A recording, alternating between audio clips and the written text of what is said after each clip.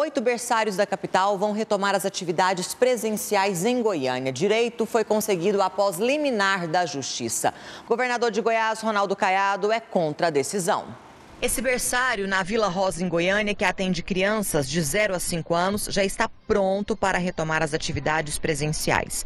Na última segunda-feira, a Associação das Escolas Particulares de Educação Infantil de Goiás conseguiu na Justiça uma liminar autorizando a retomada das atividades em oito berçários da capital. Por aqui, tudo pronto para receber as crianças. Bem na entrada, tapetes sanitizantes, aqui, ó, álcool gel, termômetros para medir temperatura e o berçário também já passou por sanitização.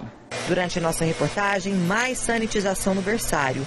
Antes da pandemia, esse berçário atendia 60 crianças de 0 a 5 anos. Agora, com atividades online, apenas 12 estão matriculadas.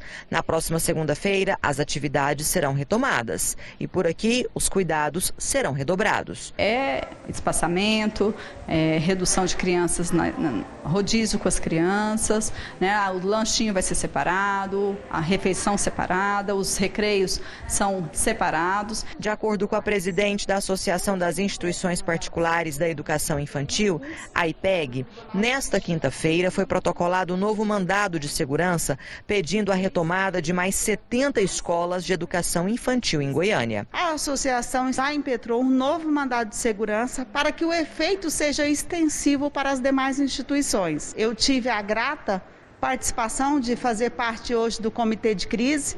Fiz uma sustentação oral sobre a necessidade da manutenção da liminar, sobre a necessidade do retorno das instituições particulares no segmento de 0 a 5 anos. Por causa da pandemia do novo coronavírus, as escolas em Goiás estão fechadas desde março.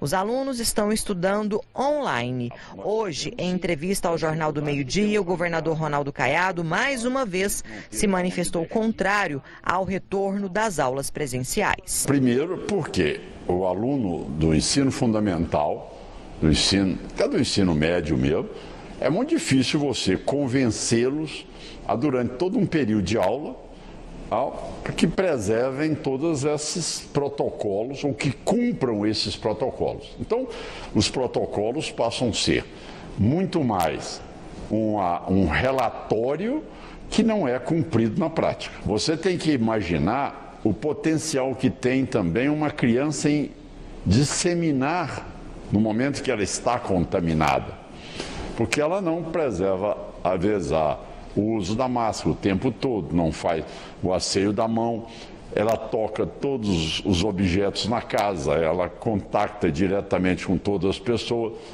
E é, e é desagradável a, a criança chegando para um avô, ou mesmo para o pai, não vai abraçá-la? Lógico que vai.